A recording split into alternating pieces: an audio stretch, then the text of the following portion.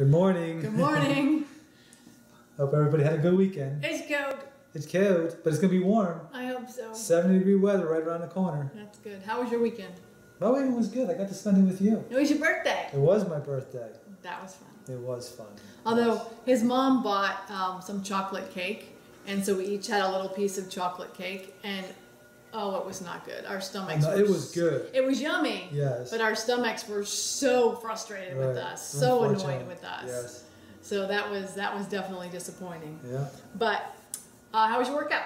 Workout was good. Today was a very active workout day. I started off with my uh, 10 minute cardio blitz, Oh, good. and then I did chest, biceps, forearms, and calves. You didn't tell me you were doing calves. No wonder I you were late. snuck it in there. No, you were late. I did back today, and then I did some stretching because I'm trying to, you know, hopefully my back and hip are going to be better. Hopefully. I don't Yeah. know if it's going to help, but we're trying. Yes. So, um, we wanted to talk to you a little bit about the power of plants to uh, increase performance legally. Legally, right. So I have to talk first a little bit. I've shared a little bit before about um, how nitric oxide helps our uh, endothelial cells, which are the cells that line the blood vessels, helps them work better to expand our blood ves- vessels and allow blood to flow better. Right. So the whole point of the plants that we're going to talk about is that they help your endothelial cells because they produce the um, plants help produce nitric oxide so that your cells, your arteries expand better and blood flows better. So what they found was that it allows athletes to perform longer with less oxygen Right. because the blood is doing a more effective job of getting the oxygen where it needs to go. Exactly. So that's what we wanted to talk about a little bit. Did you have some notes you wanted to Uh, share we can just I go. just I mean, jump I, am into gonna. it? So really, my my whole fascination with it is how it talks about um, doping with beets. yeah. So basically, I'm sure everybody with Neil with Neil Armstrong, listen to me, Lance. Lance Armstrong with the whole doping thing and whatnot, uh, how they blood dope. Well, you can get a similar effect by just Explain blood doping though, what that is. So blood doping is when they when they remove blood from them from their body, oxygen oxygenate it, and then put it back into their body, which gives them more endurance. Mm-hmm. Uh, they call it blood doping. Um, this is basically this. Uh, you're getting a similar effect by what they say athletes will eat. Um, I think it's a half a cup of beet juice, Mm-hmm. two, I mean, four to six hours prior to the competition, Mm-hmm. and they get the similar effect. So we're basically talking about vegetables on steroids here. kind of the same thing. Right. So apparently, the the enzyme in our bodies that produce nitric oxide, um, its enemy is free radicals, and we've talked before about free radicals and how, and you've probably heard it that they're really hard on your body. But interestingly, free radicals not only gobble up nitric oxide, but it can hijack the nitric oxide um, synthesis process and force it to start pumping out more free radicals, Right. which obviously is not what you want to have happen. Exactly. And so, if you don't have enough nitric oxide in your body, your arteries will get stiff, they won't be dysfunctional, it raises your blood pressure, and then you end up at the risk of heart attack.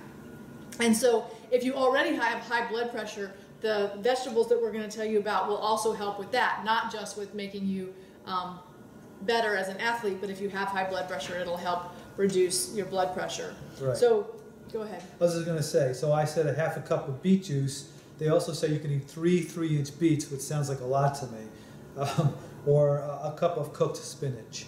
Right. So they have they listed ten things, and these are in the order um, beets being number ten. So beets are really good for you. Beet juice is really good for you, but beet juice is apparently I've never even seen it. Like, they, they claim that it's hard to it's find. hard to find. Yeah. So you can do beet juice. Um, Swiss chard is really good for nitric oxide. Oak leaf lettuce, which I've never heard of. I don't know what that is. We're pixelating. Um, Let's see if it fixes itself. beet greens. So obviously, if you're going to buy beets, buy them with the greens on them, so that you can uh, you can eat the greens as well. Basil, which I love basil, so that's cool. Oh, it stopped. She said that's good. Oh, yay! Good Good morning, Laura. morning, Laura. Um, mesclun greens, butterleaf lettuce, which butterleaf lettuce is super yummy. That's Yeah? a really yeah, it's it's a really sweet lettuce. It's really I've good. never had it. Cilantro, which I don't like. I feel like cilantro um, cilantro tastes like mold to me. But yes, you have that. I don't like that. Uh, rhubarb, I don't like rhubarb either. I won't be eating that. And then arugula. So arugula is fine. And arugula is number one on the list. Now it doesn't say how much of this stuff you have to eat, but I would say if you're eating it consistently, that that's gonna That's that's gonna- got to be good for you. Right. Um, it also says that there's a veggie Viagra, Viagra effect because obviously if your if your cells not your cells your your, blood's- your yeah. blood's flowing better, it's going to flow better to all the fun, all the functions where blood is necessary. Exactly. So it can um, help with um, sexual function. Also, it improves the blood to the uh, to the brain, which is obviously important. So he makes the point that Lamborghinis go faster not because the fuel they have is different. You can put really fancy fuel in a lemon, and it's not. It's still, Still not, not going to go go fast because yes. the engine's not good. It can't use the fuel. Exactly. But if you if you take really good um, fuel and feed your body, it can go faster because it you have the engine that can function as as a Lamborghini can. Right. So, what did she say? Both places, yes, the brain and the sexual organs is Right. good important places. Well, you know, if you really think about what they say about men and yeah, no, so, let's not go so there. I, you know, I think it makes sense. Listen to you. no, no, that's what I thought. Anyway, so um, and this is how this is also from the book of How Not to Oh, Die, how not to die. Yeah. and well, it's a section on how not to die from high blood pressure. Um, So yeah, if you're eating if you're eating those fo- foods, I can talk. If you're eating those foods, they're going to um, increase the nitric oxide in your system, which is going to help your blood vessels dilate the way they should, which is going to get more oxygen more quickly to the places that it needs to be. So they have some stats here that I wanted to try and um, and share with you. It says that after um, sipping on beet juice, cyclists were able to perform at the same level of intensity while consuming 19% less oxygen than the placebo group. So the intensity was the same, but the oxygen Level was use higher, was yeah. was less, which Right. means that they were being um, more efficient with the oxygen they had. I could not find the word efficient. Had to think about that. Um, and then they have something they call severe cycling, where you go as hard as you can. And it said that the time to exhaustion um, was extended without any beet juice. They were doing nine minutes and 43 seconds, and I can't imagine going all out for For nine that- minutes and 43 seems like a lot, seconds. I'm yes. not that good of a cyclist. But it was extended with beet juice to 11 minutes and 15 seconds. which, is huge. That's a lot. That's like a minute and a half. So that's pretty impressive, I would say. Or, rough, or almost like ten percent better performance, which any athlete can can increase their performance by ten percent. Yeah. When, so when they lose by milliseconds, right. you know. I would definitely see, say that those of you who um, are runners or athletes who watch us, I know there are several of you. I would recommend start taking in these kind of foods, if not consistently, at least the day before and the, and maybe the morning of your event, Right. because you know anything that you can do to increase the uh, nitric oxide in your system.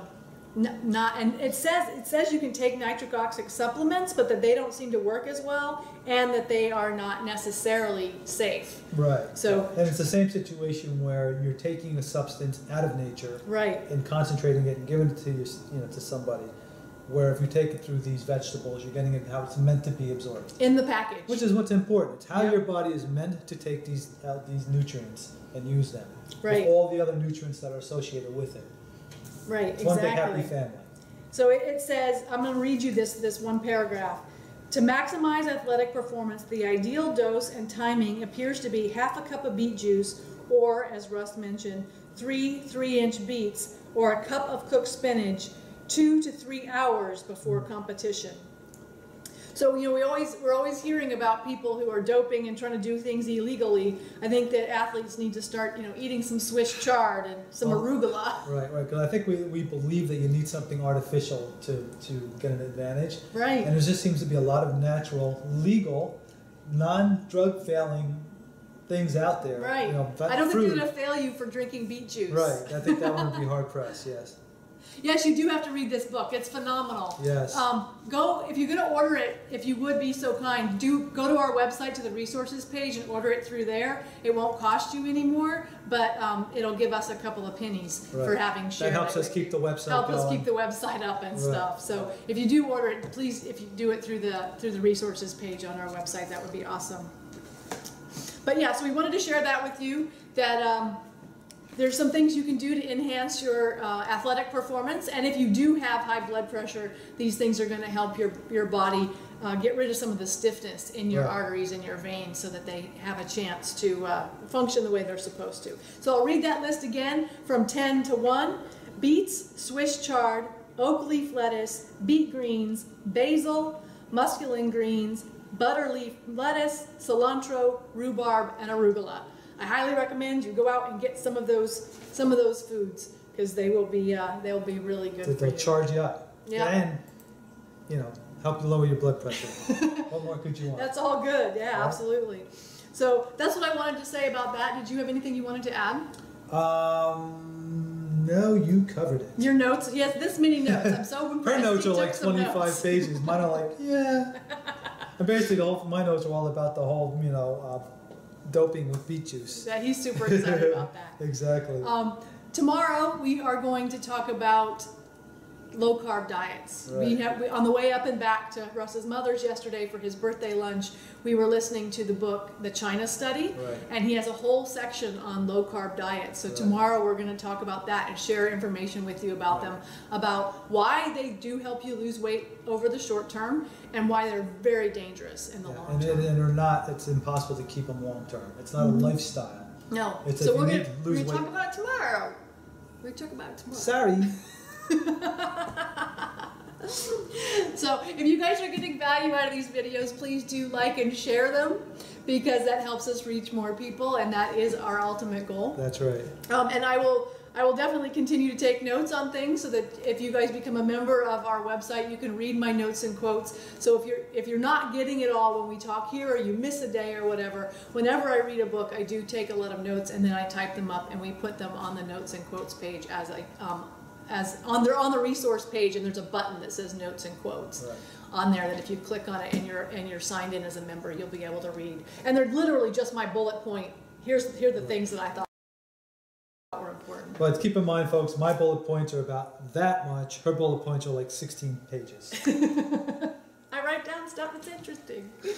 but still better than reading a 500 page book. Yeah, definitely still easier than reading. And then you know, if you find it interesting, you would, certainly I would encourage you to read the five, Yes. 500 page book. How Right. many pages is this book? This is a very very long book. It's about four or 500 pages, I think. We won't count the index. Right. Let's Which see. is huge. The index is very long in this book, but which is good because I've used it to actually look stuff up. So this book is 410 pages long, Yeah. 411 pages long without the index. So Not huge if it's a novel, but if it's a science book, it's a very big book. yeah. Yeah. So do like and share. Find us on uh, like our Facebook page, uh, like our YouTube, all those fun things, Right. and stay in touch if you have uh, questions or things you want to know shoot them about. out there. We'll try to answer them for you. Uh, also, I will mention that tentatively, a week from Friday, we'll be doing a talk. No, it's happening. It's happening. All right. So a week, a week from this Friday, six o'clock at the at the Natural Food Store in Newark, Delaware. That's the second of March. All right. We'll be doing a talk, and we'll also have their vegan chef. Will will um, I think the plan is to just demonstrate a dish. She, I don't know if she's going to make it for them, but she's definitely going to have it for them to Right. taste. Hopefully, there'll be a little bit of sample, um, and as well as a recipe. And the way we want to set it up is, if you want to actually make it at home, we're going to have them pre-packaged, all the ingredients. all the ingredients, so you you can guys just buy can just do a go. quick checkout and go, and, and make it at home. Right. So uh, exactly. that's going to be exciting. We're going Um, to give our talk. Your body can't count calories, and neither should you. Right. Exactly. So yeah, Right. yeah, we're So I excited. think that's it. It's going to be fun, and um, I already know a lot of the people who watch us and know us are going to be there. So if you if you happen to be local, I know a lot of you aren't, but if you happen to be local, uh, the second at six o'clock at the Natural Food Store in Newark, we're going to be uh, giving a talk there. Right. Do you have anything else? Um, we talked about the website. You said share and all that good stuff. I think that's all we've got for I you. I think that's all we have for you today. It's going to be warm tomorrow. I'm super excited. Right, exactly. Right? All right. And so with that, we will say eat real food, not too much, mostly, Mostly plants. plants. Have a great We'll day, see you guys. tomorrow. Enjoy it if you're off today. That too. Yes.